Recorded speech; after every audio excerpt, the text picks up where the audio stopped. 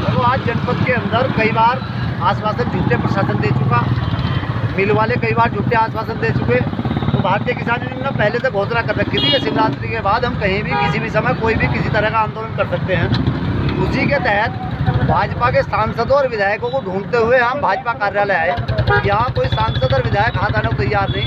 तिरसठ दिन हो गए भाजपा को ढूंढते हो सरकार नाम की कोई चीज़ इस प्रदेश के अंदर, ज़िले के अंदर नहीं है। कहीं कोई हाथ नहीं आ रही हमारी सरकार।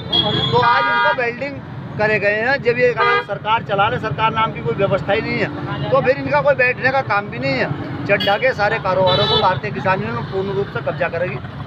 और भारतीय जनता पार्टी के जितने भी सांसद, विधायक या दूसरे दलों के भी सांसद विधायक अपने ज़िले में दो विधायक दूसरे भी हैं, इन सबका घेराव होगा। ये कर क्या रहे हैं हमारे लिए, किसान के लिए? जनता के लिए क्या कर रहे हैं? इन्हें इसलिए वोट दिए थे कि जनता के हित की लड़ाई लड़ेंगे, जनता के बारे में सोचेंगे। इनका कोई ध्यान कहीं नहीं